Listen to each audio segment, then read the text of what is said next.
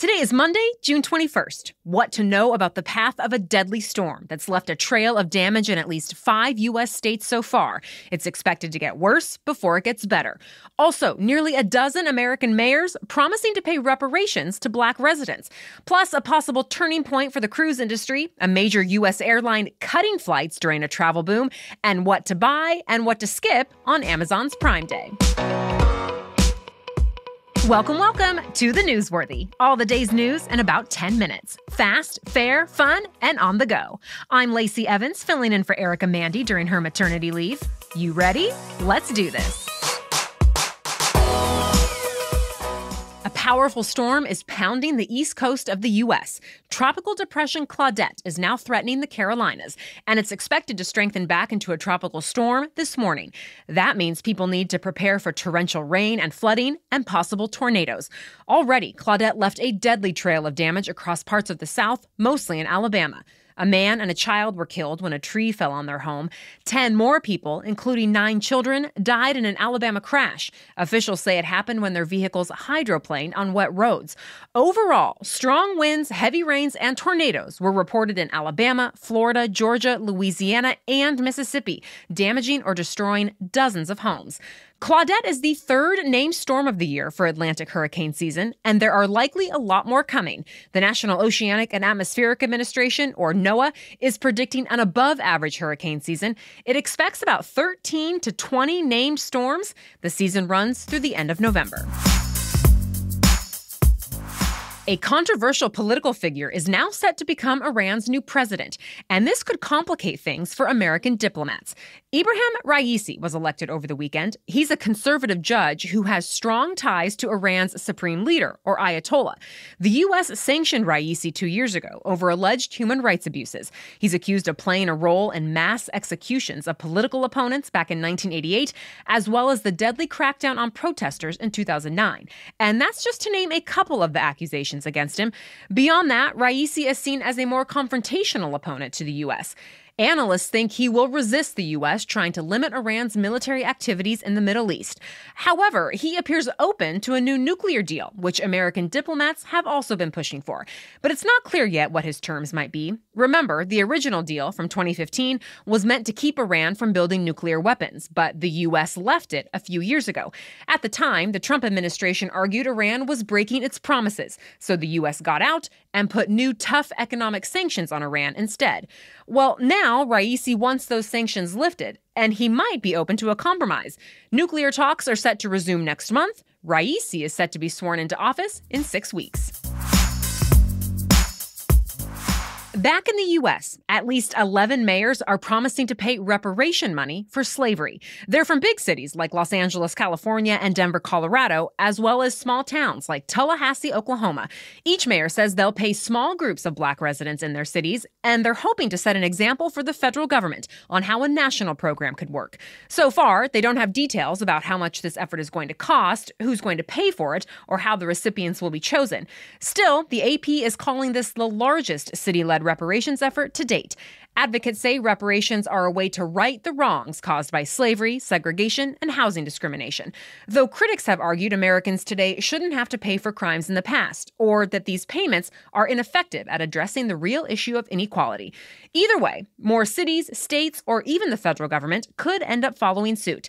Democrats in the U.S. House are pushing a bill to study reparations, and California created a task force to weigh the idea last year. To be continued. The COVID 19 variant that's been powering severe virus outbreaks in India is now becoming the dominant strain around the world. At least that's according to the World Health Organization. It's happening because that Delta variant is so highly contagious. In fact, studies have found Delta is between 40 to 80% more contagious than previous strains. So far, it accounts for around 10% of cases in the U.S. But the CDC director says she expects it to become the dominant strain here too in the coming months. The issue with that is it keeps mutating, and the CDC worries it could eventually mutate to make vaccines less effective. However, so far, that hasn't been the case, and vaccines are said to be able to tackle even the Delta variant. Speaking of vaccines, President Biden announced another milestone over the weekend. Since he took office, more than 300 million COVID 19 shots have been given. That's on top of nearly 17 million during the Trump administration. And it means more than half of the total population has had at least one dose of a COVID 19 vaccine. 45% of Americans are fully vaccinated. Granted, the U.S. still has a long way to go. In the past, the nation's top infectious disease expert, Dr. Anthony Fauci, has said anywhere from 70 to 85% of the population needs to be vaccinated for the U.S. to reach herd immunity.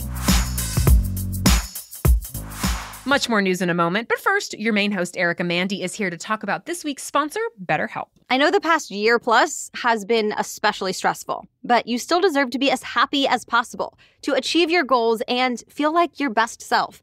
And I know one great way to do that is through therapy. I think of it as going to the gym, but for our mental health. And BetterHelp makes it so easy. BetterHelp will assess your needs and match you with your own licensed professional therapist. It's convenient. You can start communicating in less than 24 hours, and it's confidential. You always connect in a safe and private online environment. This is not self help and it's not a crisis line. This is professional counseling, where you can send your counselor a message anytime, plus schedule weekly video or phone sessions.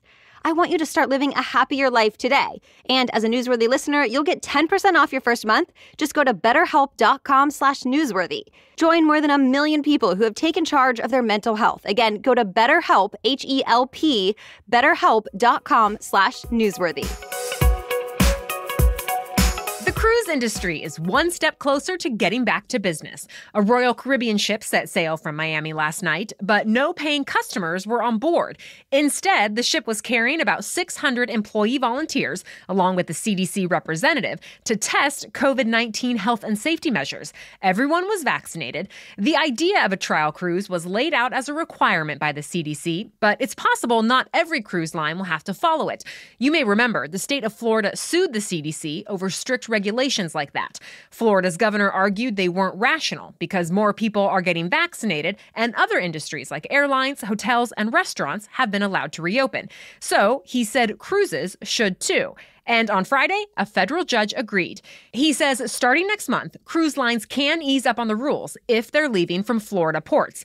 Those rules include the trial voyages, testing sites on each ship, and a seven day limit on the length of each voyage. Now, instead of hard rules, the CDC will have to call them recommendations or guidelines. So far, the CDC has not responded to the judge's ruling, but Florida's governor is calling it a victory. American Airlines is cutting flights in response to a surge in passengers. Yes, you heard that right. The issue is the airline is dealing with maintenance and staffing issues. So American says it's cutting flights in places where there are more options to get people where they need to go. And that could help avoid last minute cancellations elsewhere. The airline canceled more than 300 flights over the weekend, and it plans to cut dozens of flights every day for the rest of this month. About a thousand more flights planned for the first half of July are also getting scrapped. In the meantime, American and other major airlines are racing to hire more workers. American, Delta, and United Airlines have all been going on hiring sprees this month. Snapchat's controversial speed filter is now gone from the app.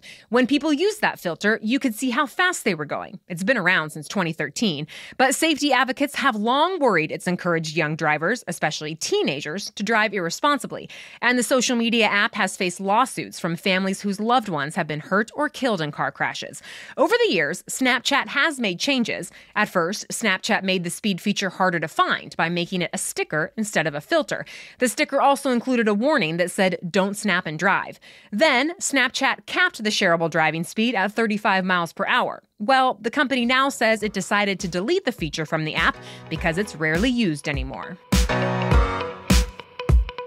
Amazon Prime Day is officially underway, and the retail giant says this is the largest Prime Day ever, with more than 2 million items on sale. But discounts are available only to Amazon Prime members. The event kicked off at midnight Pacific time and lasts 48 hours. CNBC suggests shoppers look for deals on things like smart home devices, laptops, tools, and pet products. You can also expect good deals on summer clothes and beauty products. But not everything is considered a bargain. A Retail Me Not shopping analyst told CNBC shoppers shoppers should hold off on video game consoles, cameras, and Apple products because they'll find better deals for those items on Black Friday. And by the way, Amazon isn't the only place to find discounts this week. Other major retailers have gotten into the habit of offering deals during Amazon's Prime Day event, too. Special sales are going on at Walmart, Target, Kohl's, Best Buy, Home Depot, and more. Two of the biggest boy bands of the 1990s have joined forces. Four members of NSYNC and the Backstreet Boys teamed up for a Pride event over the weekend. Lance Bass and Joey Fatone of NSYNC, along with Nick Carter and AJ McLean from the Backstreet Boys, were involved. They performed under the name BackSync at an event that raised money for LGBTQ organizations like the Trevor Project and LA Pride. And this may be the first of many collaborations. AJ McLean teased fans with a TikTok video suggesting he, Carter, Fatone, and and Bass were working on a new album together as BackSync, but he says the two bands wouldn't go on tour unless they could convince all 10 former members to participate. That's it for your main news today. But now it's time for Money Monday, where we talk about one interesting money related news story. Today, we're talking about a new trend on Wall Street. Kids as young as 13 are now legally trading stocks. Fidelity is helping fuel the trend. It recently launched a program called the Youth Account. It lets teens buy and sell stocks and mutual funds, and it comes with a debit card. Kids under 18 need a parent's permission to sign up, and parents can receive alerts about transactions and close their kids' accounts at any time. Fidelity says its program can help teach teenagers about money management. Supporters also say the program could allow teens to save significantly more money over the long term because of compound interest. But not everyone thinks this is a good idea. Critics argue making stock trading as easy as playing a game could be harmful for teens, and since they're inexperienced, they might make risky bets. That's the same argument lawmakers have made against new online brokers like Robinhood that appeal to less experienced traders. For now, only about 55% of Americans own stocks, and that percentage includes people with 401k and IRA retirement accounts. All right, thank you for listening today. We'll be back with much more news tomorrow. Until then, have a great day.